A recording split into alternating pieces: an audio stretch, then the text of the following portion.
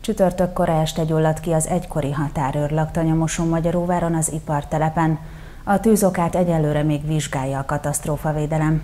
Először óriási füst, majd néhány pillanat alatt a lángok is felcsaptak a volt határőr laktanya tetőszerkezetén. Néhány perc múlva pedig a tűzoltók is megérkeztek a helyszínre. A tűzeset csütörtök este történt a Határőr utcában, a volt laktanyában. Csütörtökön késő délután kigyulladt egy több mint ezer négyzetméteres többszintes használaton kívüli épület tetőszerkezete Mosó-Magyaróváron a Határőr utcában.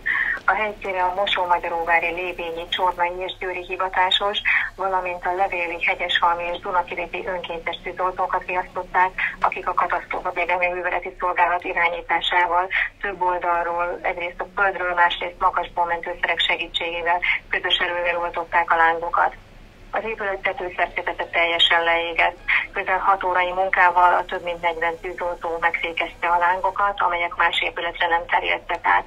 Az utómunkálatok, melynek során a leégett tetőszerkezet maradványait is eltávolították a tűzoltók, a hajnali órákig eltartottak.